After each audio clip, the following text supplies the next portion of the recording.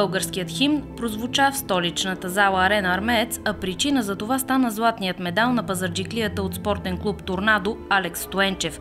Той бе част от националния отбор на България по време на Европейското първенство по карате Шин Кьокушин. За наша радост, за втори път нашия клуб има европейски шампион. Първият европейски шампион беше Александър Цеткова 2010 година, като стана номер едно на Пазаржик за десятката, в десете най-добри.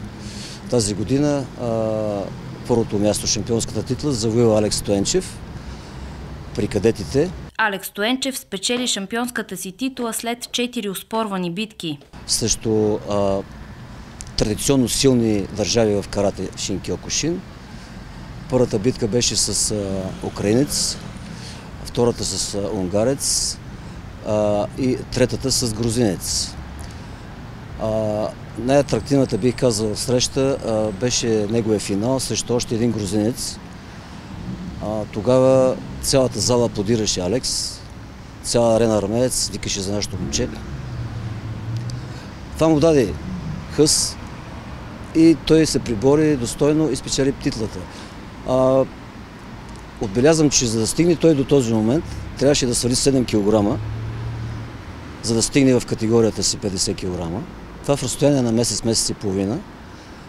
И това е под наблюдението и контрола на един от треньорите на нашия клуб, Станислав Комсолов, който беше и помощник треньор на националния отбор по време на подготовката на лагерите за, за това състезание. Премина доста, доста тежко, особено подготовката и състезанието най- най-вече последните два опонента, двете срещи бяха изключително твърни с всичките продължения.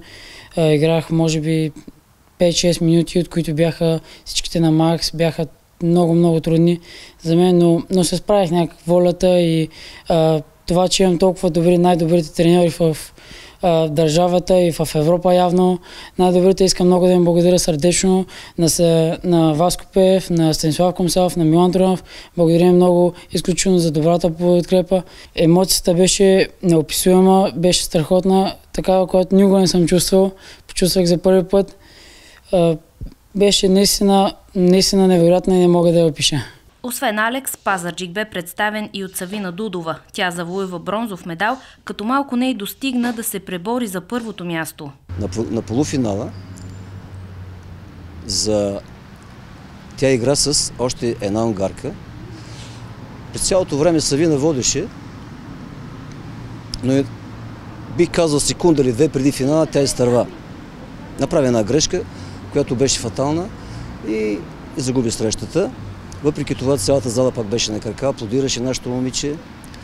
За отбелязване, че накрая, след срещата, треньора на националния отбор на Унгария отиде лично я поздрави. И той й каза, браво момиче, ти игра с моята най-силна състезателка. Ти направи една достойна загуба. Играх доста трудни срещи и аз. Първо също Литовка, която беше много добре подготвена също, но успях да я преодолея. След това играх с Полякиня, която доста ме натискаше, доста искаше и тя тази победа, но с а, хъс и воля и всичко се получи, получиха нещата и така успях да стигна до полуфинал, където не се дадох отново, играх също унгарка и водех я почти през цялата среща. А, не съм я отстъпила нито за миг, обаче в последния момент просто така се случи, че имах мал шанс, така да го кажа.